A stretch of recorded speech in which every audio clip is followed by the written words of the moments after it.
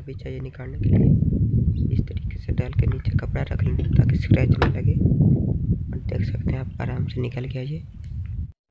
इसके ऊपर हम इस तरीके से टेप लगाएँगे। जहाँ पे हमको पेंट नहीं करना है, वहाँ पे हमको टेप लगाना होता है।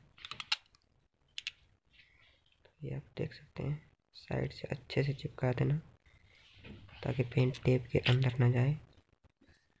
कर दे अब हम इसको पेंट कर देते हैं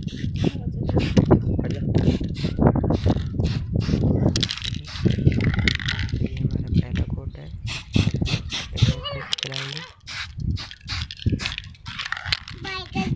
मुझे छू गया ये मैं अंदर ले आया था ऊपर तूफ़ान चल रहा था तो धूल मिट्टी बैठ जाती। हम इस पे एक और कोट चढ़ाएँगे अब दूसरा। अच्छे से तो चारों तरफ़ से। जैसे हमने व्हील कलर को पेंट किया था उसी तरीके से करना है। अगर आपने वो वीडियो नहीं देखा तो अभी जाके देख लेना। आई बटन पे उसका लिंक आ रहा होगा ऊपर। देख सकते हैं मैंने पेंट कर दिया है।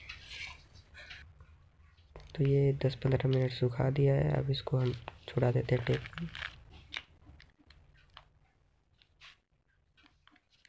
तो मैं छुड़ा के बताता हूँ, अभी छूट नहीं रहा है एक हाथ से। तो ये देख सकते हैं क्या मस्त लुक आ रहा है। तो इसको लगाने के लिए सिंपली ऐसे रखना है और दबा देना है। बस, ऐसे दबा देना है, बस ये लग गया है।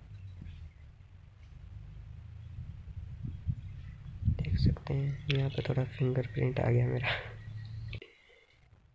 ये देख सकते हैं जलने के बाद।